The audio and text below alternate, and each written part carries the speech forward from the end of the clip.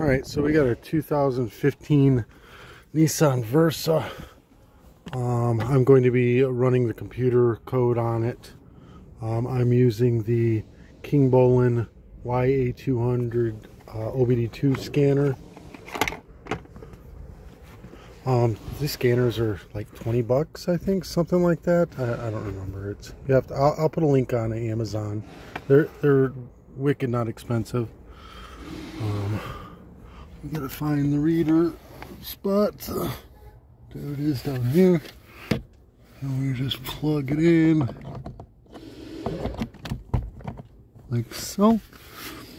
And then see it comes on, no problem.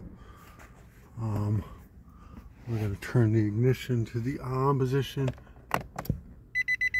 Push the button twice. There we go.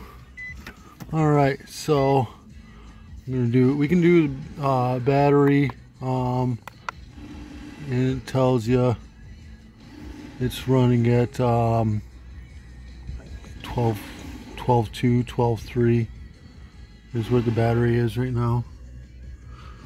You can run it and it'll uh, increase slightly here. All right so I'll go back.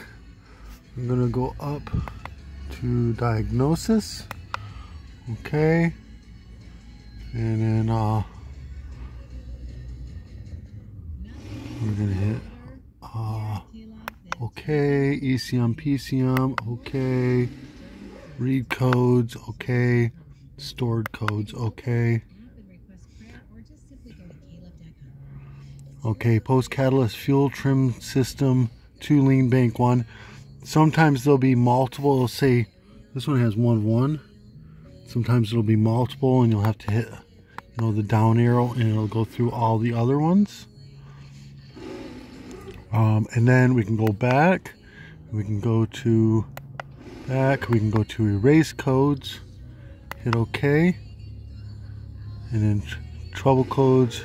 Okay have been cleared just like that you go back read codes again okay stored codes no code stored and that's it guys that's how you use the YA200 um, to uh, erase the codes and check the codes in your uh, in your uh, well, this this is a 2015 Nissan but in any car at all really all right Alright guys, this helped you out in any way, shape, or form. Give me a thumbs up, hit that subscribe button.